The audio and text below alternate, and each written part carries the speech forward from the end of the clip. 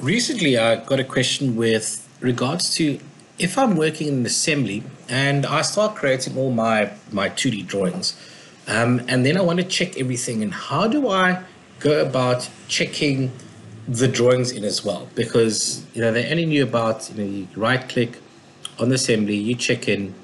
You know what it does? It takes a look at the assembly and all the parts over here. Um, you know, if you have to go to settings, you know, include your children, include parents, direct parents only, uh, you know, create your visualization attachment file during check-in or send to job server. But, you know, with this relationship, include children or include parents. You know, that parent over there is the parent for the assembly that you are checking in. Now, now I can go over there, say, okay, checks everything in.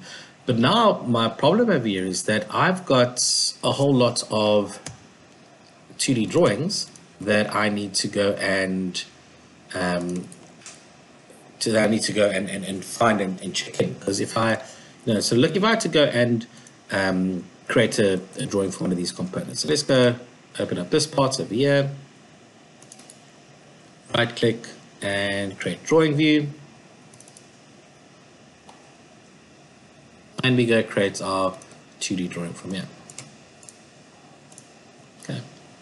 So once that's done you know you go save saves us the part 0341 and go to my vault okay? It's it's not inside the vault okay? But I say okay cool I'm done with this and I go okay cool. Now if I want to go and just check this in over here um, I say check in. It will go and check the assembly but what if I want to check up that IDW so at the bottom over here we've got a related files go look for them and you'll notice there it will go and pick up that 1301 0341 IDW and check that in so, you know, with that, you might have found that I've got, if I had to go to where this is saved on my, my desktop, there's a whole lot of IDWs or drawing, 2D drawing files that I've forgotten to check in. But they exist, and I want them inside the inside the uh, in the vault. So go up to my main assembly, vault, check in, or you can click on the vault tab at the top, right click, check in, or we can go to our Vault tab at the top over here and check in. Once that's done, picks up all the files that I'm going to check in. And don't, don't keep files checked out. And then from this, I'm going to click on this little button over here, related files are excluded.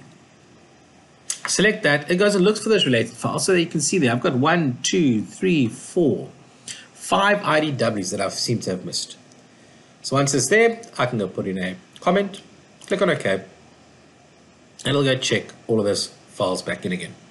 So now what I've done is I've gone up to my assembly, I've checked all my part files in, and then what I've also done is said just you know check if there are any drawings for anything in there, sub faults, uh, sub assemblies, you know parts in that in assembly, find them and check them in as well.